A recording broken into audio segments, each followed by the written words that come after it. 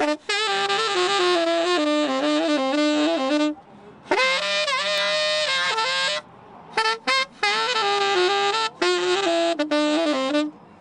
a special guest joins us now, Michael Forbes, the saxophone player who you've probably seen a million times if you've come to Ducks games, playing before and after games. Michael, thank you so much for joining us. What made you decide to start playing out here in 1993?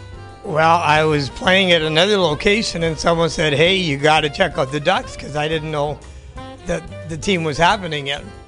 So I came out here, and uh, I've been here ever since. And you've been playing out here for so long. What? It's a drive because you are living in Lawndale. So what makes you keep making this drive? Is as we know, traffic is a monster out there. Why, why do you keep coming back here? What do you like about it?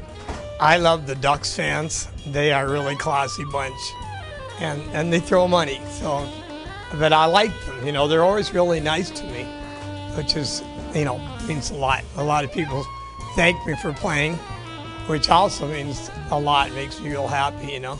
What's the most requested uh, song? Doesn't have to be Christmas, but in, in general, what's the most requested song that you get?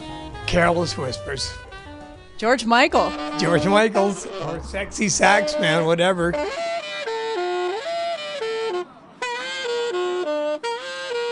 In 2007, the Ducks won their first Stanley Cup. Where were you when, when they won that, and, and what happened afterwards? Well, I was standing outside because I couldn't get a ticket it was like $900. So I thought, oh, well.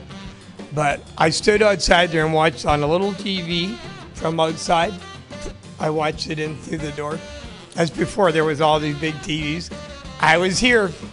I wanted to get in so bad, but you know, it's just out of my budget, really. As a Ducks fan, what did that mean to you to to, uh, to just be around here when they won that game?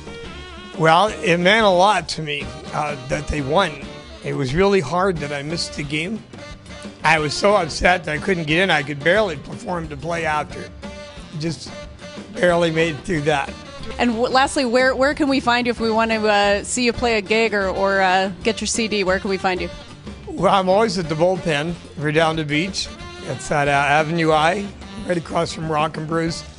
I've been playing there for a long time, like 18 years, I think. So if you if you don't find him here before and after a Ducks game, you can find him uh, there in Redondo Beach. And what about a CD? What's it called? Seize the moment. Seize the moment. It'll be a good theme for the Ducks this year as well. Thank you so much for joining us, Michael. My pleasure.